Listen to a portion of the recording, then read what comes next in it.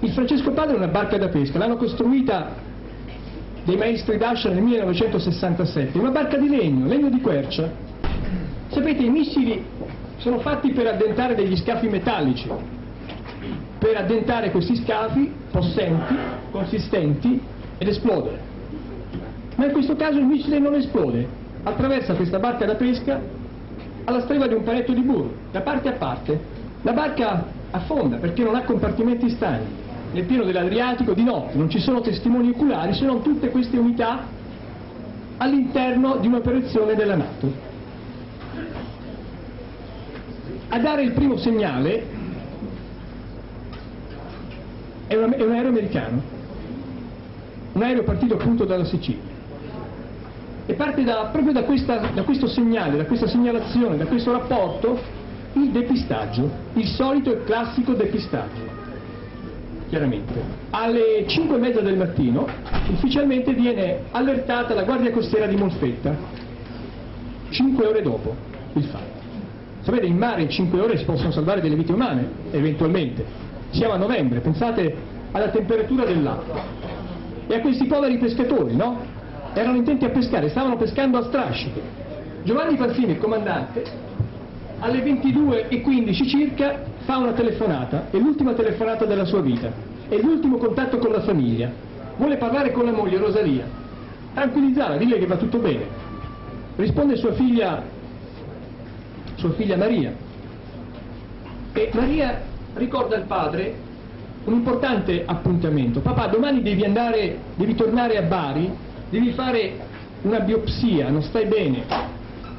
E il padre risponde, non ti preoccupare, non posso tornare domani perché io ho la responsabilità non solo della mia, della nostra famiglia, ma anche gli altri quattro lavoratori che sono su questa barca.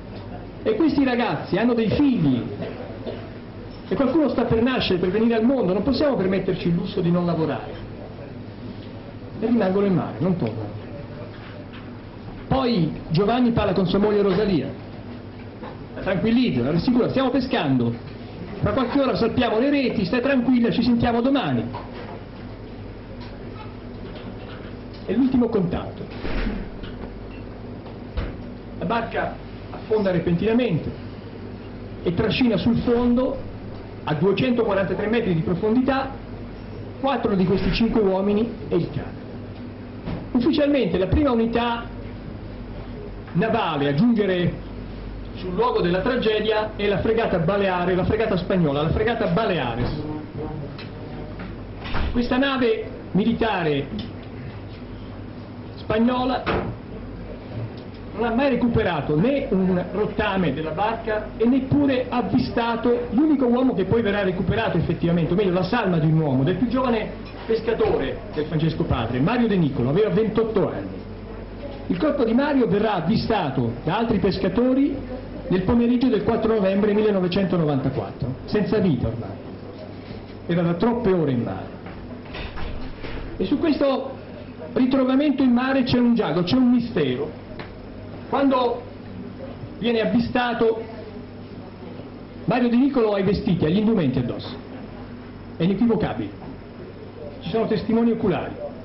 Arrivano le barche da pesca della marineria pugliese, molfettese in particolare, e cercano disperatamente di trovare dei sopravvissuti, qualcosa della barca, del Francesco Padre, trovano rottami e trovano anche un corpo senza vita. Lo segnalano ovviamente alle decine di unità aeronavali presenti in quella zona che non avevano trovato e cercato nulla e non avevano neanche prestato soccorso, erano in quello scenario, ma non avevano prestato soccorso. Il corpo di Mario De Nicolo viene portato su una, su una motovedetta e sbarcato in serata a Molfetta. Quando arriva a Molfetta il cadavere di Mario De Niccolo non ha più gli indumenti, ha soltanto un calzino. Arriva al tavolo dell'obitorio, il giorno seguente viene fatta l'autopsia, arrivano tre luminari, fanno un'autopsia e questa, questa relazione autoptica ovviamente finisce sul tavolo del magistrato, del PM di turno.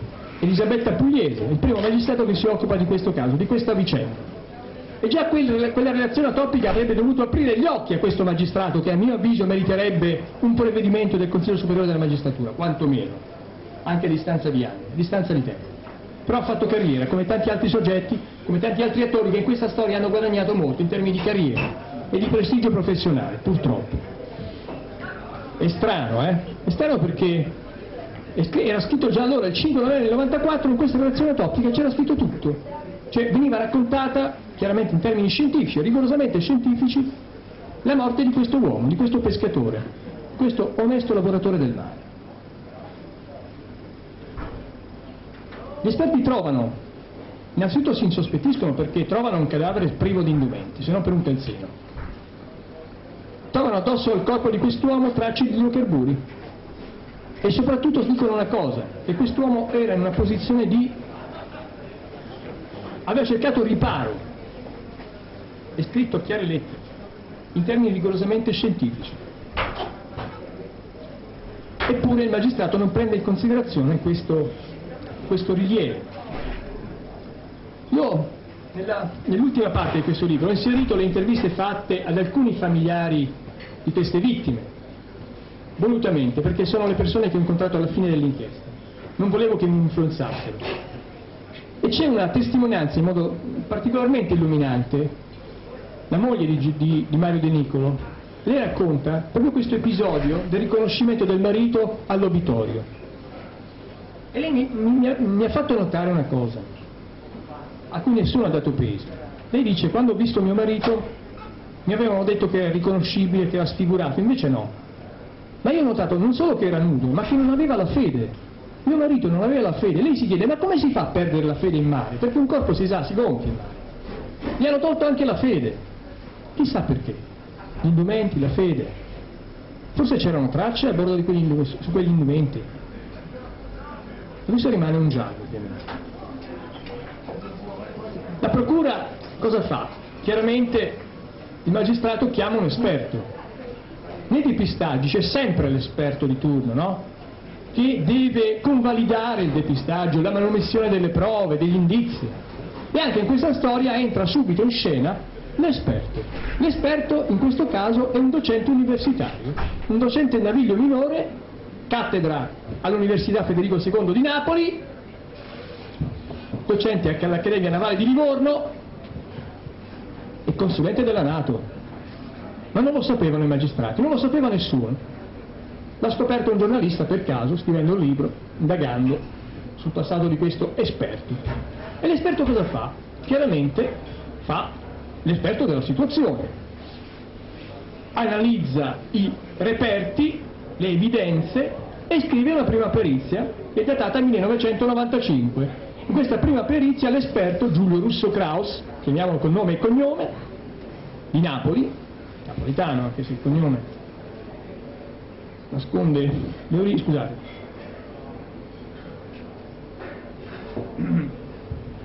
In questa prima perizia l'esperto asserisce che la barca è, aff è, è affondata, innanzitutto esplosa, si è disintegrata a causa di un'esplosione interna, quindi non rimane nulla della barca, che la barca trasportava esplosivi, questi esplosivi erano collocati a prua dell'imbarcazione.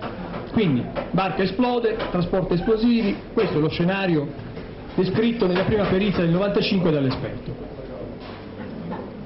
Disarmante, no? E a quel punto, voglio dire, le indagini potrebbero essere anche chiuse, archiviate, sepolte definitivamente, no? C'è già una verità tecnica, scientifica se vogliamo, tra virgolette, e invece, e invece succede qualcosa di strano. I, i legali, i familiari delle vittime riescono a ottenere dal, dal PM pugliese un provvedimento, cioè affidano a una società, la Impresub, un compito, quello di mandare giù a 243 metri di profondità un ROV, che è un robot teleguidato con una telecamera, per filmare chiaramente quello che è rimasto della barca.